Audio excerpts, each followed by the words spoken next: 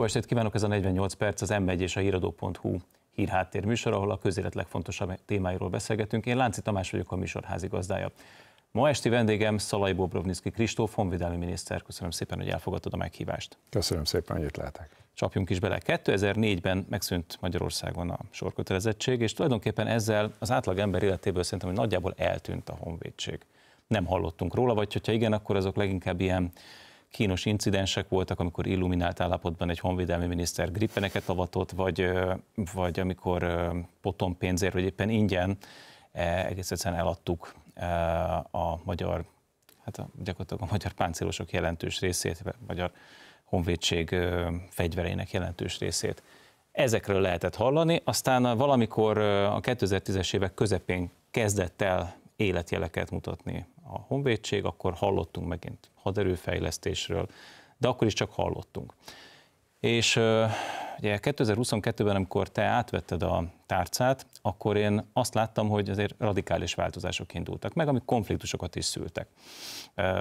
Egy nagy arányú személycsere kezdődött el, fel lett pörgetve a fegyverkezés, a fegyverbeszerzések, átnevezések indultak el, ami azt gondolom, hogy egyfajta szimbólum annak, hogy, és most megkockáztatok egy kijelentést, hogy mint hogyha a rendszerváltás most érkezett volna el a honvédelem területére. Ez túlzás?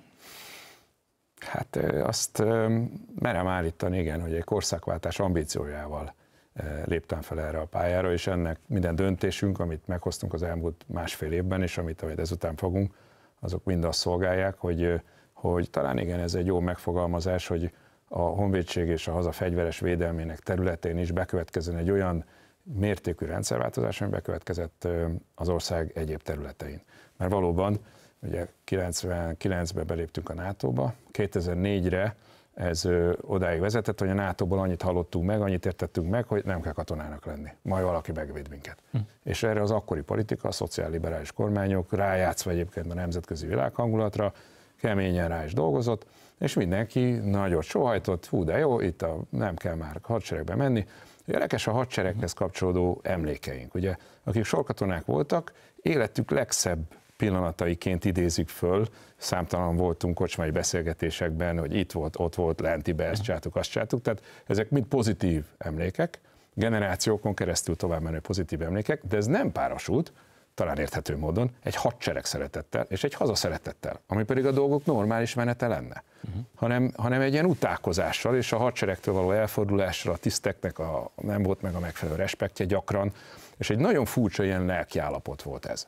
És ez, ez helytelen, de ez, ebbe érkeztünk bele. Ez, a, ez, a, ez a, az a kulturális lenyomata ennek az egész hadsereg kérdésnek, és jött utána a nagy lelki felszabadulás, nem kell foglalkozni ezzel soha többet, majd valaki uh-huh. megvéd minket. Ennek megfelelően el is adtak minden eszközt, amit még el lehetett adni, tönkre is hagytak menni rengeteg mindent, amit pedig karban kellett volna tartani, és mire 2010-ben az Orbán kormány hatalomra került, addigra lényegében volt egy moráljában megtört, fontosságának tudatát elvesztett, a laktanyáiba visszaszorult, a társadalomtól elforduló, leépülés alatt álló eszközparkjában teljesen elhanyagolt, nagyrészt le is épült, magára hagyott hadsereg. Egyfajta, lehet, hogy sértő, amit mondok, vagy talán kényes kérdés ez, de egyfajta cinizmus lengte be ezt az egész kérdéskört. Mi szükség katonákra, nem? Tehát az, az volt az embernek az érzése, hogy ez olyan, hát ez olyan, olyan nagyon 20. századi. Tehát ide már, ide már minek, minek ide honvédség? Tehát ezzel már túl vagyunk. A világ egy békés korszakba lépett, ilyen vastag könyveket írtak arról, hogy fegyveres konfliktus itt már nem nagyon lesz. És akkor egyszer csak jött 2022 ami Igen. ránk rúgta az ajtót. Igen, de, de egyébként ez, ez, ez nem a katonák hibája, azt azért gyorsan hadd tegyem ki, ez a mi, nekünk, a civileknek, a politikának volt, nem a mi politikánknak a hibája, de a politikusoknak és a civil társadalomnak volt, ha úgy tetszik, a, az elfordulása a katonáktól. A katona akkor is katona volt, és kiváló ö, emberek szolgáltak a, a hadseregben, és a szívük szakadt meg egyébként, ö, hogy mi történik, és mit engednek a hadsereggel uh-huh. történni. Csak nem volt elég erejük és képességük ahhoz, hogy, hogy ezt a folyamatot visszafordítsák, mert a közhangulat akkor olyan volt, és a politika nem támogatta őket. Na most ez nyilvánvalóan 22-ben drámaian megváltozott. Egyébként nagyon fontos emlékeznünk arra, hogy nem 22-ben változott meg. Tehát 10-ben ezt fölismerte az akkori kormány, 15-16-ig tartott, még rendbe rakta a gazdaságot eléggé, hogy komolyan lehetett arra gondolni, hogy egy átfegyverzés, egy átszervezés és egy valódi tiszteletre méltó és tekintét parancsoló hadsereg felépítése elindulhasson. Uh-huh. És erre rúgta rá az ajtót a valóság 2022-ben. Uh-huh. És ehhez kell, és ekkor ö, tulajdonképpen az én feladatom az volt, hogy egy előre, vagy az, hogy egy előre elgondolt stratégiát felgyorsítsak. Hogy, hogy nem várt meg minket az élet, hál' Istennek időben elkezdtünk, és ez egy csomó szempontból olyan pozícióba helyezett minket, ami most egy előny, egy, egy versenyelőny a, adott esetben a többi országokhoz képest, de ezt most ki kell aknáznunk, és, és gyorsabban kell mennünk. Az előbb azt mondtad, hogy stratégia, mit föl kell gyorsítani. Induljunk akkor innen. Mi, mi tulajdonképpen a vízió? Tehát, hogyha össze kéne foglalnod most egy két mondatban, hogy mi a magyar honvédségnek a, a víziója, a missziója, tehát mire készül ebben az évtizedben? Magyar Honvédségnek 2030-ra el kell odaérni, hogy elegendő, elrettentő erőt tudjon, hiteles, elrettentő erőt tudjon felmutatni az ország megvédésére, és ezt NATO kötelékben is, és a NATO-val való együttműködésben végezze, de ne úgy, hogy a NATO-tól várja ezt a megoldást. A hiteles, elrettentő erő az nagyon sok mindenből áll, ehhez szükség van a nemzeti ellenálló képességünk növelésére is, ami nem pusztán katonai, hanem társadalmi feladatokat is jelent ami végső soron azt eredményezi, hogy több fiatal vállalja a katonai életet, és ezáltal ez az egész ismét egy rendszerré válik, és nem két külön vált a társadalom meg a hadseregre. Tehát Nézzük. katonai értelemben oda kell eljutnunk, hogy egy megfelelő, hiteles, elrettentő erőt felmutatni tudó kép, haderő legyünk, amely ezáltal tekintét parancsol az egész régióban. Beszéljünk majd az emberállományról is, de először magáról a vasról. Ugye elindult ez az általad is említett 2016-os haderőfejlesztés, aminek most már azért látszanak az első eredményei. Ha jól értem, most jönnek be azok az eszközök, illetve most épülnek ki azok a gyártókapacitások, amelyeket 2016-ban elterveztek. Hogy áll most az országnak a felfegyverzése? Én azt gondolom, hogy jól és nagyon nagy lépésekkel haladunk.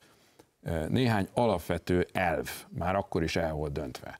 Az egyik az, hogy nem pusztán beszerzésekben gondolkozunk, tehát vásárolunk fegyvereket, hanem ezt úgy tesszük, hogy minden egyes alkalommal megvizsgáljuk annak a lehetőségét, hogy ez milyen védelemipari kapacitások kiépítését teszi Magyarországon lehetővé. Egyrészt. Másrészt pedig lehetőleg egy európai orientációval tesszük, hiszen szükséges az, Magyarország nem egy izolált, sem földrajzilag, sem egyébként, nem egy izolált entitás, szükséges az, hogy a környezetünk is erős legyen.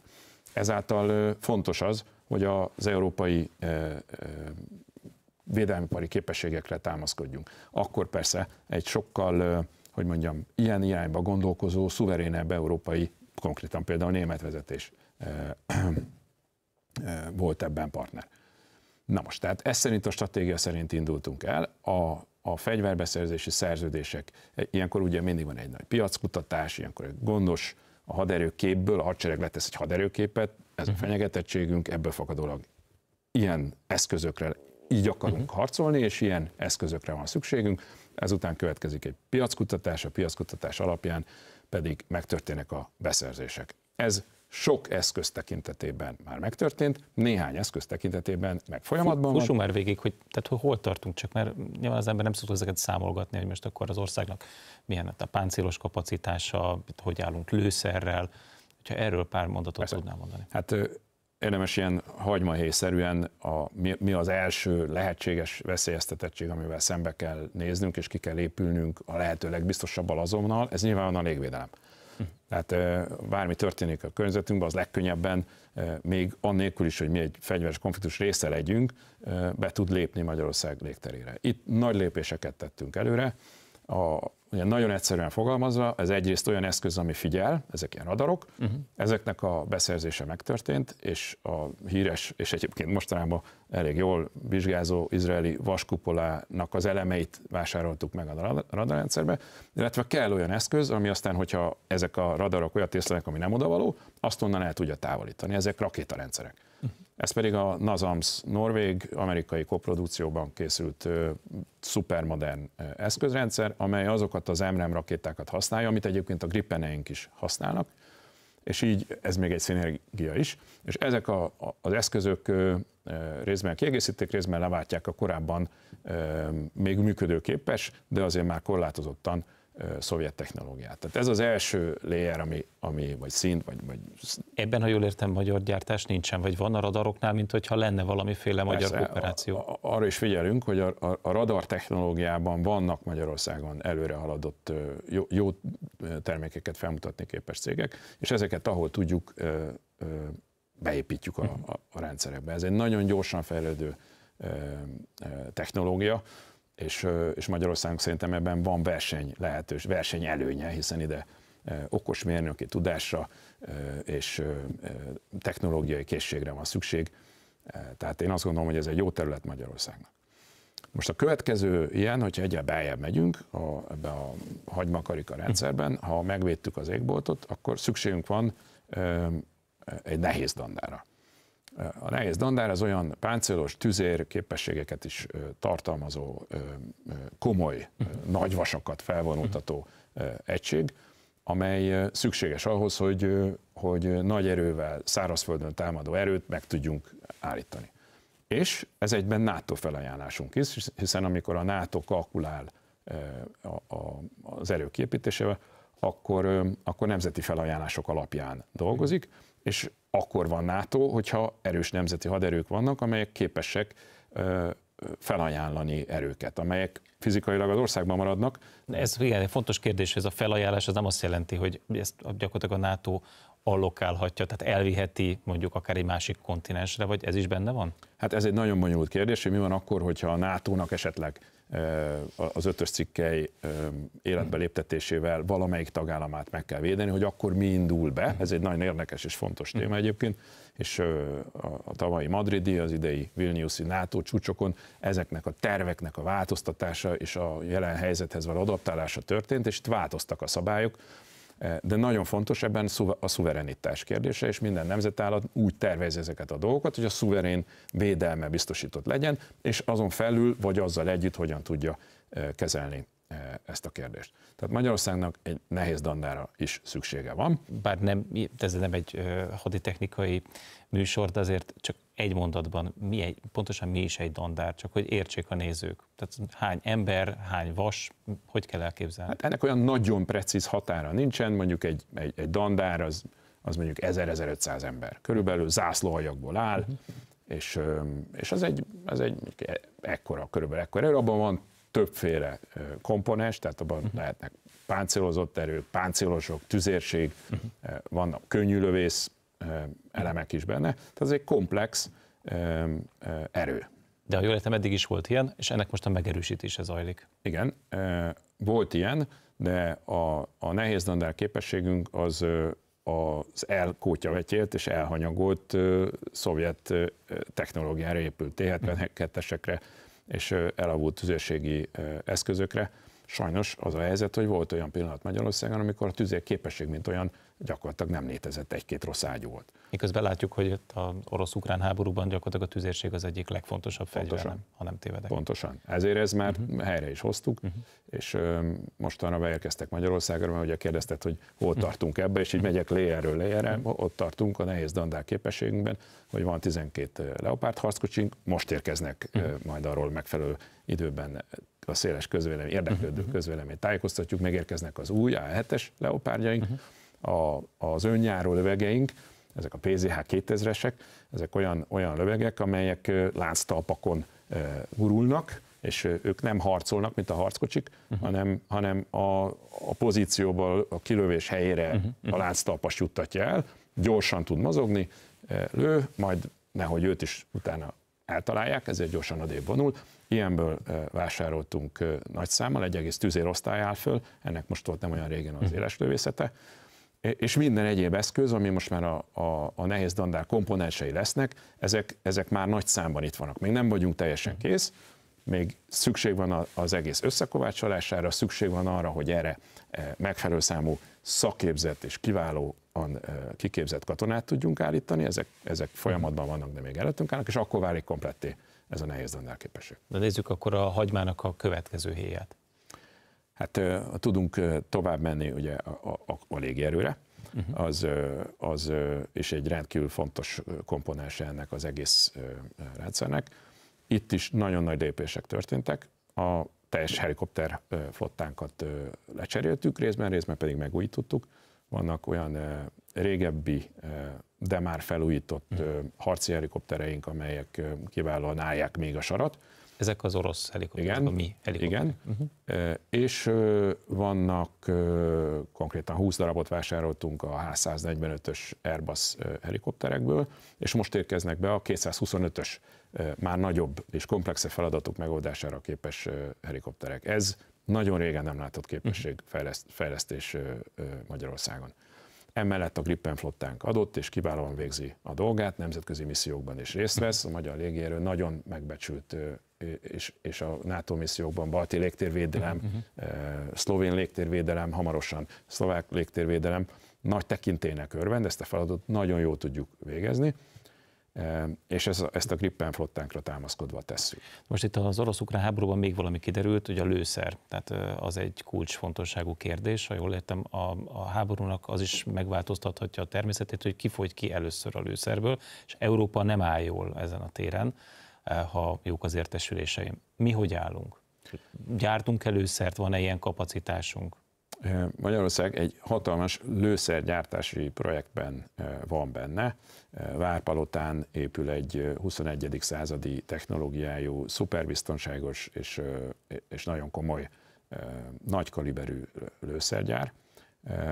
A, és van Magyarországon, Sirokon egyébként egy, egy kis kaliberű a kézi fegyverekbe való lőszereket gyártó gyár is, tehát hamarosan nagy mértékben függetlenek leszünk minden külső beszállító lánctól, hiszen itt lőszergyártás tekintetében, sok minden másban is, de lőszergyártás tekintetében nagyon fontos a, a, a szuverenitás, hogy, uh-huh. hogy nagyon hamar ellátmányhoz jussunk, ezek, ezen élethalál csaták sorsa, háborúk sorsa dől el, hogy milyen gyorsan és mennyire zavarmentesen lehet az utánpótlást eljutatni a, ne Isten, de nekünk erre kell készülni a harcoló felekhez és ezért nagyon fontos, hogy Magyarország területén legyenek ezek a képességek, és ez épül, uh-huh. van, ami már itt van, és egyre több lesz.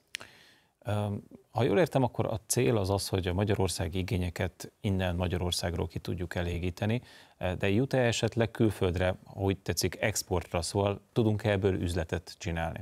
Hát természetesen a magyar védelemipar szerintem az egyik olyan gazdasági terület, amely a legnagyobb növekedés előtt áll, és a legnagyobb potenciált hordozza magában.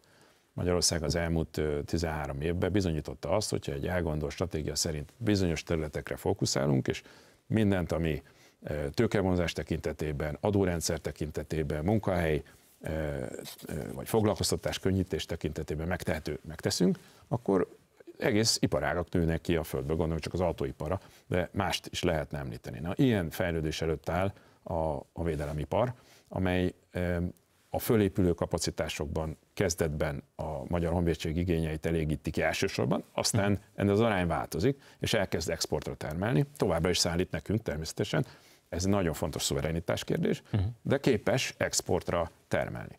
És ahogy az elején említettem, hogy európai partnerekre koncentráltunk, ennek két része van ennek a mondásnak, egyrészt, hogy európai, másrészt, hogy partnerekre koncentráltunk. Uh-huh. Tehát minden esetben olyan nagy nemzetközi komoly tőkesúlyra rendelkező eh, vállalatcsoportokkal eh, kötöttük össze a védelemipar hajóját, amelyek, eh, amelyek ebben az út, ezen az úton visznek minket. Fontos példa a Rheinmetall például, uh-huh. amely, amely egy hatalmas német vállalat, világ egyik legnagyobb hadipari koncernje, azzal a magyar, magyar államnak, ezen, ennek a megfelelő szervének közös vállalata van, és harckocsi gyártás, lőszergyártás, foglalkozunk Magyarországon, és utána vele együtt közösen támadjuk meg a, a, a nemzetközi piacokat, miközben a Magyar Honvédség igénye Átvitt értelemben. Természetesen. Igen. Na most, ahogy beszélgetünk erről az egész európai védelmiipari piacról, illetve kapacitásról. Nekem van egy hiányérzetem, és erről nagyon keveset beszélünk Magyarországon, ez a drón technológia, miközben látjuk, hogy hát szintén az orosz-ukrán konfliktus nagyon élesen rávilágított arra, hogy a drónok azok a 21. háborúnak a kulcs szereplői. Ezzel hogy állunk? Hát a kulcs szereplői, nagyon fontos szereplői mindenképpen. Nagyon fontos. Min, minden uh-huh. itt egy, egy nagy szisztémában egyszerre fontos. Természetesen felismertük a, a, a drónokban rejlő kihívást, lehetőséget és azok fontosságát. Úgyhogy a nyáron jelentettem be azt a beszerzésünket, amely a, cirkáló lőszerek családjából, amit a köznyelv inkább ilyen kamikáze mhm. drónoknak ismer, szerez be képességet, és a következő években egy izraeli-német konzorcium fog nekünk szállítani ilyen különböző hatótávolságú, különböző komplexitású uh-huh. cirkáló lőszereket, és ennek aláírtunk egy, egy megállapodást arra, hogy ennek a kutatásfejlesztése, tehát ennek a egyre nagyobb hatótávolságú, nagyobb csapásmérőképességű uh-huh. elemeinek a kutatásfejlesztése, majd később a gyártása is Magyarországra fog érkezni, tehát ez is egy uh-huh. ilyen jó uh-huh. kapcsolat. És ez ugye fölmegy egészen a, a pilóta nélküli repülőgépekig, ez a technológia, ahol már magas mesterséges intelligencia tartalmú, nagyon komplex tudás van de ott vannak a felderítő drónok is, amelyek nyilvánvalóan legalább ennyire fontosak, hiszen azok hozzák azokat az információkat, amely célkijelölés, csapatok követése uh-huh. minden szempontból nagyon fontosak. Ilyeneket is használ, használ már a Magyar uh-huh. Honvédség nagy sikerrel, felderítő vezetünkben is másút is, de ezt a képességet is ö, ö, számában is, az erre kiképzett katonák számában is, és szervezetileg is növelnünk kell. Ez szakmai feladat, tisztában vagyunk vele, csináljuk. És itt is érkeztünk a következő témához, ez a, gyakorlatilag az emberanyag, a toborzás. Beszéltünk arról, hogy gyakorlatilag a, az egész honvédelmi pálya nem volt vonzó az elmúlt néhány évtizedben, lényegében a hadsereg komoly ember és létszámhiányjal küzdött. Elindítottatok egy komoly toborzó kampányt, és egészen komoly fizetéseket adnak most már a honvédségben. Kérdés, hogy mik az első tapasztalatok? Igen, még ha szabad, akkor még egyszer visszaugranék a, a felszerelés kérdésre, de összefügg a toborzással, hiszen a, a hagyma talán ez van a legbelül, de nagyon-nagyon fontos, mind a harc megvívása szempontjából, mindegyik toborzás szempontjából a katona egyéni felszerelése. A, amiben nagy lemaradásban voltunk, és most egy kormánydöntés hatására, ami kifejezetten erre a célra alokált számunkra jelentős forrásokat, két év alatt elértük azt, hogy, hogy a, a hivatásos állomány gyakorlatilag 21. századi felszereléssel rendelkezik mindenki.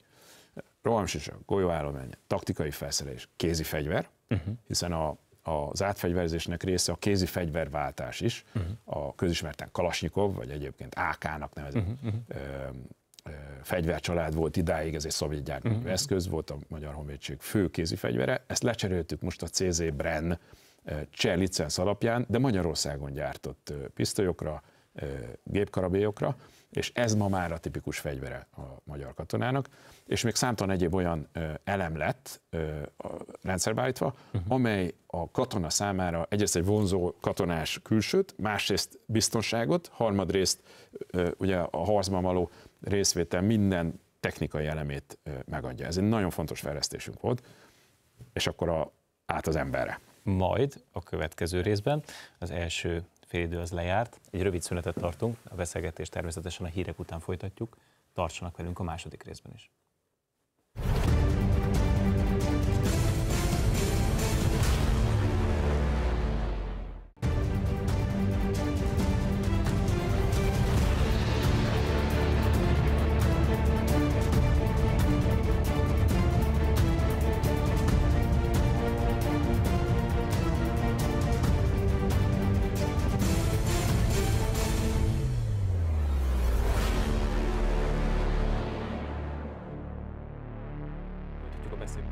48 percben Szalai Bobrovnicki Kristóf honvédelmi miniszterrel. A toborzás innen indultunk, pontosabban itt végeztünk, és innen indulnánk tovább. Az jó, hogy van, vannak eszközök, vannak fegyverek, egyre nagyobb számban, de hát kell ember is, aki beül a tankba, és elvezeti, és kell valaki, aki elsüti a fegyvert. Van-e ember? Először nézzük onnan, hogy hogyan lehet belépni, milyen utakon lehet uh-huh. bemenni a honvédségbe, és milyen nagy feladattípusok vannak.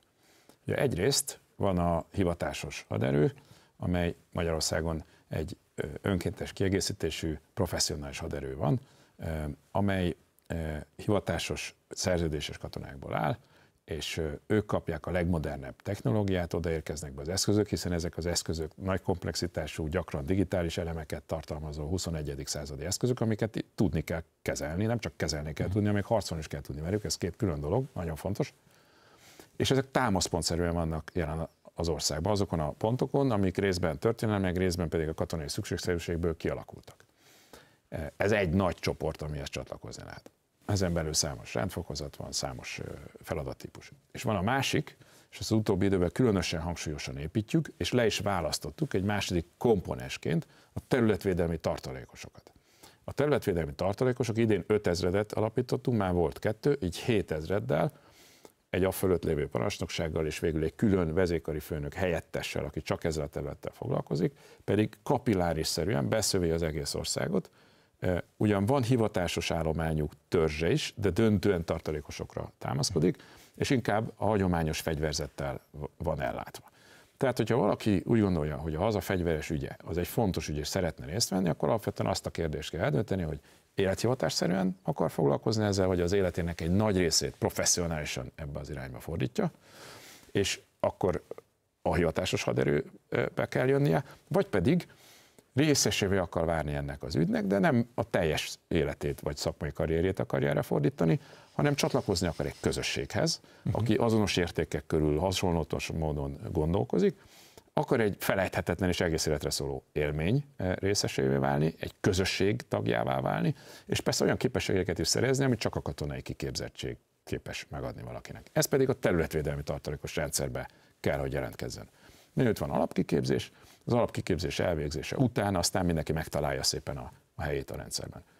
A hivatásosok tekintetében nyilvánvalóan nagyon fontos, hogy lássanak maguk előtt egy pályát. Tudják azt, hogy én itt belépek, ez lesz a feladatom, ilyen kiképzést kapok, ilyen képzésekben, meg oktatásokban lesz része, ezen az úton fogok tudni körülbelül haladni, és ide fogok a végén megérkezni, életpálya.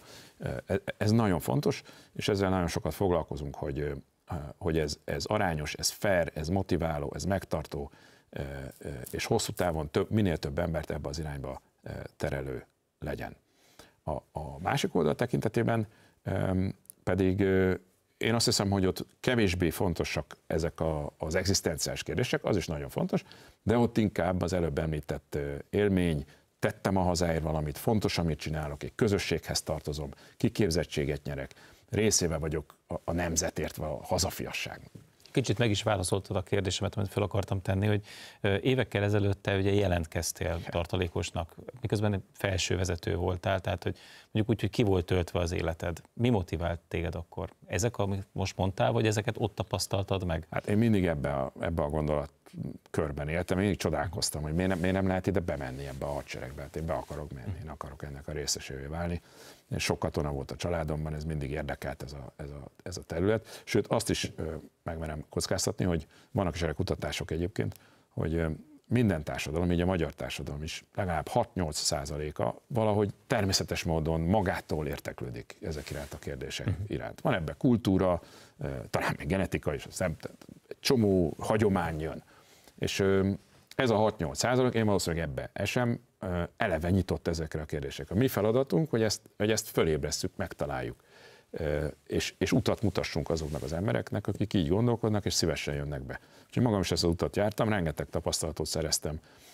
Akkor egyszerű közhonvénként bejöttem, alapkiképzést elvégeztem, és jártam azt az utat, aztán utána éveken keresztül mindig különböző beosztásokban a, a tartalékos idő, egy idő után tisztek életét éltem, és, és rengeteg számomra nagyon hasznos tapasztalatot szereztem a, a, a haderő mindennapjaiból, és abban, ahogy, ahogy a katonák, katonák élnek, a katonák gondolkodnak. És mindenkinek csak ajánlani tudom, mert elképesztő felejthetetlen élmény volt már akkor is, de azóta rengeteget fejlődött a, a, az alapkiképzés, a néhány komoly menedzser barátom, aki, aki biztosan nem egzisztenciális okokból, hanem inkább a, a feladat, hogy mondjam, intellektuális szinten érdekelte, és beszélgettem velük az alapkiképzés után, hogy mik voltak az élménye. És azt mondták, hogy életük egyik legnagyobb kihívás, szellemi értelemben legnagyobb kihívást jelentő élménye volt, és az önfejlődés, az, a, a, az önképzés egyik leg, legjobb útja volt. Jobb menedzserek lettek a, uh-huh. utána, vagy jobban csinálták a civil életüket tovább, mert olyan aspektusait ismerték meg az életnek, irányítás, vezetés, parancsadás, parancselfogadás, csapatba mozgás, a kockázat megjelenése, amik, és ennek a kezelése, az agresszió megismerése és annak kezelése, amit már sehol máshogy nem lehet megtanulni. De térjünk vissza akkor a hivatásosakra. Ugye itt azért van egy, egy komoly, mondjuk úgy, hogy elvárás, hogy jelentősen bővíteni tudjátok a létszámot. Mit tudod, mi az, amit ebből meg tudsz osztani? Hol tartotok ezzel a feladattal? Hát jelentősen bővíteni a, a létszámot, de még fontosabb azt merem mondani, hogy minőségében magas szintre hozni az állományt, hogy az átfegyverzés eredményeképpen mhm. beérkező eszközök kezelésére és az azzal való harcra készségszinten eljussanak. Ez már nem olyan egyszerű feladat ide. Fiatal, adott esetben még nyelveket beszélni mhm. képes, dinamikus, jó fizikai állapotban lévő, tanulni vágyó, jó szellemiségű fiatalokra van szükségünk. Ezt nagyon fontos, hogy, hogy én mindig, most is kerülöm a, majd eljutunk persze oda, hogy, hogy egzisztenciális kérdések, de mindig a feladatról szeretek beszélni. Tehát szerintem az a fontos, hogy katonának kell akarnia lenni annak, tudatosan vagy tudattalanul, aki majd betalál a haderőbe, és azt viszont, ezt a rendkívül fontos, komplex, nehéz, áldozatokkal járó eh, eh, hivatást, azt utána nekünk kompenzálnunk kell, de nem fordítva. Tehát nem a kompenzációról kell szólnia az egész, ha úgy teszik, tobozási stratégiánknak. Nagyon fontos az, az illetmény, nagyon fontos a megbecsülés, nagyon fontos a szabadság, nagyon fontos az egészségügyi ellátás, nagyon fontos a, a, a pihenés aránya, nagyon fontos a család, ezek mind nagyon fontosak. De először a katonai szolgálat szeretete hozza be valakit a haderőben, ezt a fajta szolgálatot akar, egy szolgálatot. Uh-huh. Én nagyon kerülöm a munka kifejezést is, bár ez munka is, uh-huh. de, de igazából én erre egy szolgálatként tekintek, és annak örülök, a katona is úgy tekint, hogy ezzel a hazáját szolgálja. Ez egy magasztos dolog. Uh-huh. És ezt a megfelelő illetménnyel honorálnunk kell. Ugyanakkor nem könnyű, mert ezért a mai közszellem azért mégiscsak arról szól, hogy csináld azt, amihez éppen kedved van, valósítsd meg önmagadat, tehát azért ez, nem, ez jellemzően nem a honvédségnél szokott megtörténni. Magyarán a korszellem azért nem segít titeket. Ennek ellenére érzed azt, hogy az a népszerűsítő kampány, amiben belekezdhetek, azért az valamilyen fölrázza az embereket, megszólítja azokat, azt a 6-8 százalékot, akiről az előbb beszéltél? Hát feltétlenül szükség volt megszólítani ezt a kérdést. Tehát ránk rúgta a valóság az ajtót. Legutolsó pillanat az ez volt, már előtte is szükséges volt, Beszéljünk arról, hogy ez a mi hazánk, ez a mi kultúránk, ez a mi nyelvünk, ezt nekünk kell megvédeni. Ez a magasztos kötelességünk, ez a mi feladatunk. Ezt ne bízzuk másra, ne keresgessünk szerte a világban nato meg egyebeket, aki majd helyettünk elvégzi, mert ilyen nem lesz. Ezt nekünk kell megvédeni, és képesség kell tenni magunkat társadalmi szinten, hogy ezt, hogy ezt ellássuk. Mindenki a maga székében végig gondolja, hogy mit tudok én ezért tenni. Én annak örülnék, ha mindenki végig gondolja, hogy mit mhm. tudok ezért tenni. Sokan adót fizetnek, és ezzel már hatalmas dolgot tesznek. De sokan eljutnak addig a gondolatig, hogy bejönnek valamilyen formában, hogy azt az előbb említettem. Uh-huh. Vagy az ő szüleik, édesanyjuk, édesapjuk, testvérük, barátnőjük, feleségük nem azt mondja, hogy jaj, nem ennyi, de mert ez, hanem, hanem segíti a döntésébe, küldi, mert ez egy jó dolog, ez egy közösség, és ez fontos az ország számára. És a, a mi feladatunk pedig az, hogy ehhez megfelelő vonzerét biztosítsunk. Ezért kezdtük el már 2022-ben is döntött a kormány egy nagyon jelentős illetményemelésről, amelyet megfeleztünk 22-ben, és majd most 24 elején fogjuk odaadni a katonai állománynak, ami biztosítja azt, hogy ennek a gyönyörű hivatásnak a kompenzációja az, az, az lépést tart a, a bérekkel, sőt a, az inflációval és adott esetben is a reálértéke a, az életményének növekszik, és ennél még fontosabb az, hogy, hogy elindultunk abba az irányba is, hogy pontszerűen bizonyos speciális feladatokra bizonyos képességeket külön honorálva, kázi a legjobbakat megpróbálva behívni az új technológiára, párosítjuk a, a fiatalokkal, és azokkal, akinek kedve van ehhez. Ez az új technológia, például a Linkseink, ami egy páncélozott gyalogsági harcjármű vezetésére, az, az, az abban lévő toronylövészi feladatok ellátására, vagy az azzal való gyalogsági támogatásra, harcra, és ezt párosítsuk egy kiemelt illetménnyel. Erre aztán a kampányunk második felében egy kifejezett ajánlatot adtunk, de logikailag valóban az volt a, a, a történet, hogy először elkezdtünk egy nagy országos kampányal, föltettük azt a kérdést a magyar társadalomnak, illetve az abban élő fiataloknak, hogy és te készen állsz-e és ezzel akartuk fölhívni arra a figyelmet, hogy ez egy, amit az előbb mondtam, ez egy fontos kérdés. Általánosságban elindult a kampány az év elején, és aztán a, a, a nyáron váltottunk, és egy konkrét ajánlatot tettünk. Gyere Hódmezővásárhelyre a Kinizsi Páncélos Dandárhoz, annak is az első katonai hagyományok miatt gránátos zászlóhajnak elnevezett zászlójába, és ott a Lynx gyalogsági harcjármű toronylövésze, vagy az azt támogató lövész katona legyél, és ez 730 ezer forint, 737 ezer bruttó forint kezdőfizetéssel jár. Azt is megtettük, hogy ez ne okozzon az zászlóhajon belül feszültséget, itt már ott most is vannak katonák, uh-huh. hogy az egész zászlóhaj illetményét felemeltük erre a szintre, tehát nem csak az újak, hanem akik ott szolgálnak most. És végig az egész láncba. Ez a beillépő illetmény, és végig fel a zászlóhaj parancsnokig. De ez egy érdem. Ide be kell kerülni. A dandár parancsnoka eldönti, hogy ki kerül be abba a gránátos zászlóhajba, ki méltó arra, hogy a legmodernebb eszközökkel, a legjobban kiképzett katonákkal a legmagasabb illetményért szolgáljon. És ezáltal itt egy, egy, ilyen, egy ilyen különlegesség keretkezik. Ezt most nagyon jól ment, ezt most megcsináljuk, indul egy kampányunk, már bejelentettük, elkezdtük jövő évi bevonulással a tatai tüzérdandár, nehéz dandárunkhoz, a tüzérosztályhoz. Ahol pedig az újonnan beérkezett PZH 2000-es önjáró lövegek mellé keresünk tüzérkatonákat. Az az egyik legszebb katonaszakma. Ugyanígy 730 ezer forint belépő illetménnyel. Tehát ettől még egyszer mondom, azt várjuk, hogy egy speciális feladatra különleges fiatalok érkezzenek be, de ez az egész haderőben egy teljesítmény alapú emelkedést indítson el a megbecsültségben. No, hát a, ugye a puding próbája az evés, és tulajdonképpen az e, tehát egy békehadseregről beszélünk, tehát reméljük nem kell kipróbálni élesben ezeket a képességeket, de hadgyakorlaton most megmértétek. Itt volt ez az adaptív huszár nevű. Egyébként miért, miért angol neve volt ennek a hadgyakorlatnak? Azért, mert ez egy NATO hadgyakorlat volt. Ja, és nem csak, hogy angol neve volt, hanem még az az érdekes helyzet is előkerült, hogy magyar tisztek nekem angolul jelentettek. Mert a, a, uh-huh. a gyakorlat nyelve angol volt. Nagyon meglepett egyébként, hogy a teljesen váratlanul érkeztem arra az irányítási pontra, ott volt 30-40 fiatal tiszt, végezték a dolgokat, rendkívül profi, digitális, analóg, úgy jelentettek angolul, hogy az akcentussal sem volt probléma, uh-huh. de mindegyik.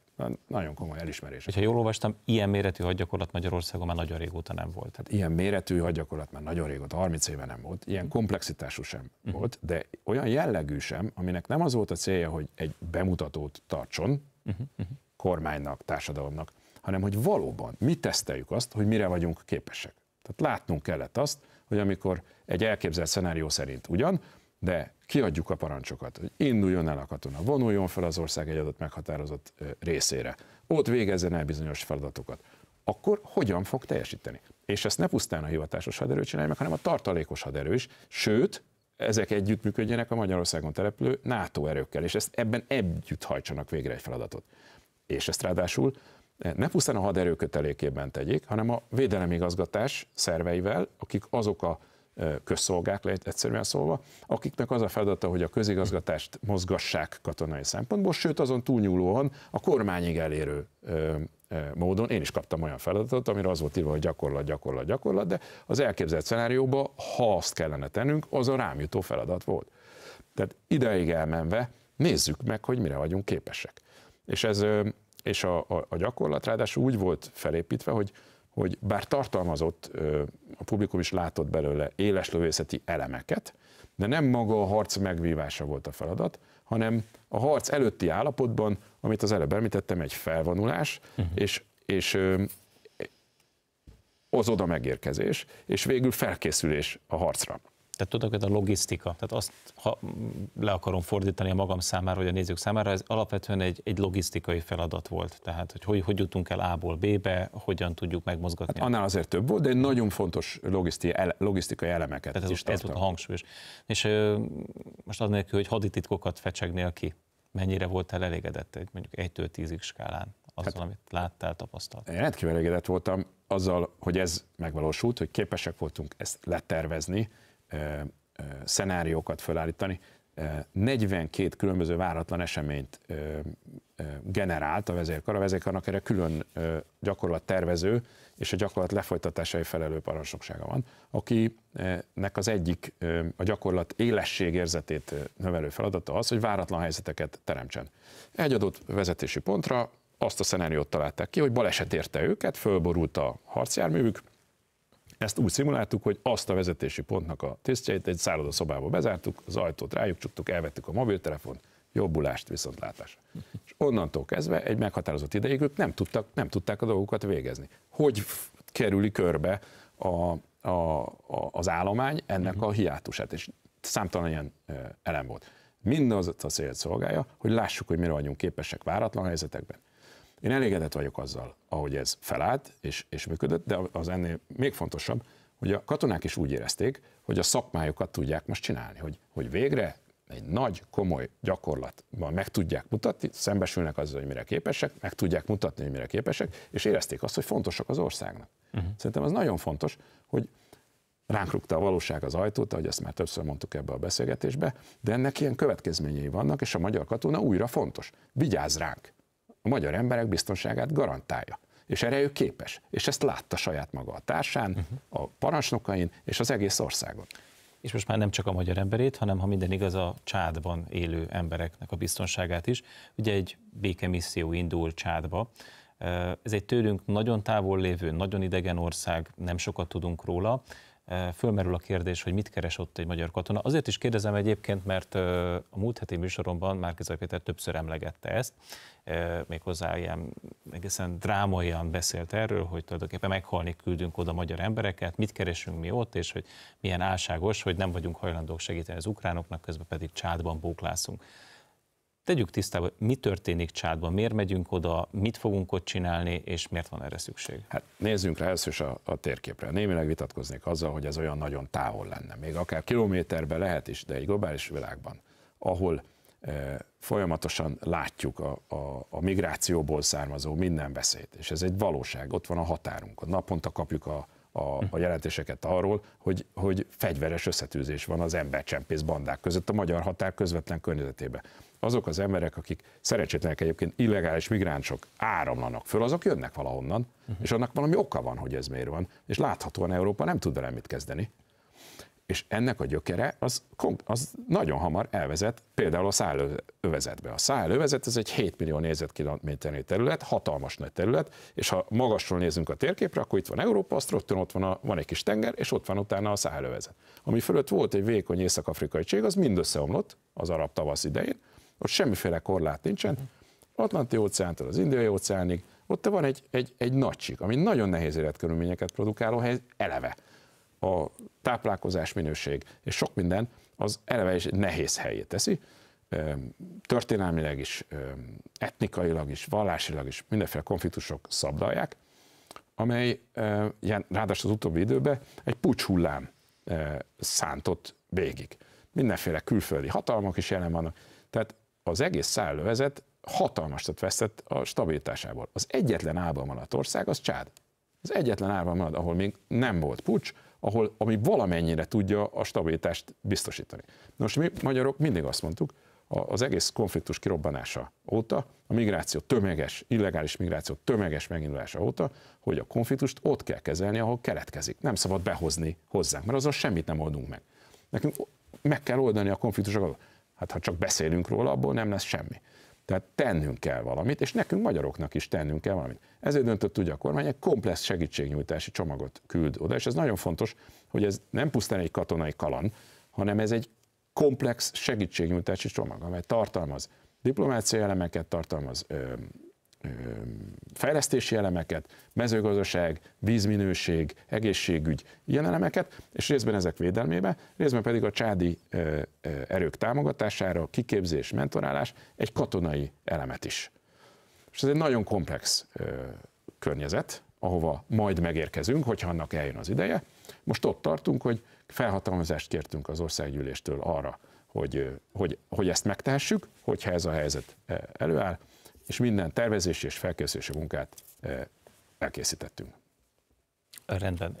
Ha jól értem, akkor ennek azért van egy olyan célja is, hogy ott a magyar katona tulajdonképpen lőport szagolhat. Mégiscsak ott élesben fogjuk letesztelni mindazt, amit most itt Kelet-Magyarországon az adaptív huszár hadgyakorlat keretében szimuláltatok. Mert jól értem, akkor itt, itt egy komplex képességet kell fölépíteni, és ott teljesen magukra lesznek utalva a magyar katonák. Tehát, hogy ott nem egy szállodai szobába lesznek bezárva, hanem ott adott esetben tényleg meg is sebesülhetnek. Hát a magyar katona kiválóan teljesített sok évre visszamenőleg nemzetközi missziókban. Ez nem új. Uh-huh. Katonák Ezt vannak tudják, most is? Ezt a katonák ezt tudják, most is vannak. Kisebb szánt emlékezünk, nem olyan régen ért, sajnos elég distenül, de az afganisztáni misszió véget. A magyar katona Afganisztánban éveken keresztül sikeresen jelen volt. De ha jól értem, az a különbség, hogy Afganisztánban ott mi más NATO tagállamokkal együtt, azokkal együtt működve vagyunk, voltunk ott, illetve vagyunk most is, hát ha jól tudom, ott vagyunk ugye ott Koszovóban. Nem. De Irakban ott vagyunk, Irakban, Koszovóban, Koszovóban ott vagyunk, így van. Libanonban Hercegovában ott vagyunk, Libanonban ott vagyunk, tehát de, ezt tudjuk csinálni. De mindig valakivel, és ha jól értem, a csád abból a szempontból különleges, hogy itt nincs tulajdonképpen nincs partner. Nem, abból a szempontból különleges, hogy nem mások alárendeltségében megy. Aha. Ez egy önálló katonai misszió, amely a csádiakkal szoros együttműködésben uh-huh. dolgozik, és a má, többi NATO tagállammal, ott vannak a franciák, ott vannak az amerikaiak, németek is egy mhm. kicsit, csehek, tehát ott sokan vannak azért, de nincs alárendelve a magyar uh-huh. katona. Ez egy nagyon jó lehetőség, és egy, és egy nagyon komoly felelősség is, de erre a magyar katona képes. Máskor is képesek lehetünk volna, csak akkor más volt a, a konstelláció. Most önállóan fogjuk tudni ellátni ezt a feladatot, ha erre végül sok.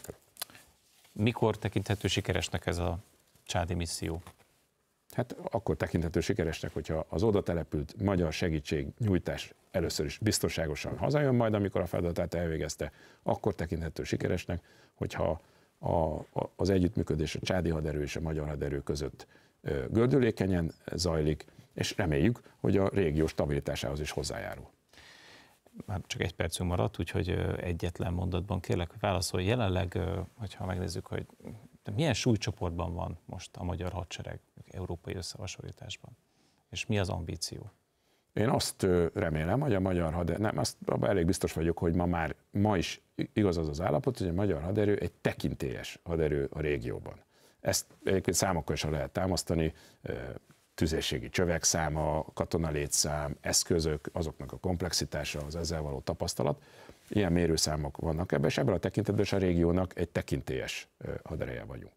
Ezt kell tovább nevelnünk, a meghatározó erejévé kell válnunk ennek a, a mi régiónknak, és ezzel párhuzamosan a NATO-nak is egy, egy kiszámítható, biztos partnere vagyunk teljesítjük azt a kétszázalékos elvárást, amit egyébként a NATO országok a tagállamaikkal szemben elvárnak, hogy az össznemzeti terméküknek ennyi arányát költségvédelemre, legtöbben nem teljesítik egyébként, Magyarország teljesíti, ezen belül 20%-os fejlesztési elvárás menet, ezt messze túlhaladjuk. Számos misszióban jelen vagyunk, a Nyugat-Balkánról nem is beszéltünk pedig a KFOR misszió, az EUFOR misszió, amitnek most veszük át a parancsnoki pozícióját, ezek nagyon fontosak.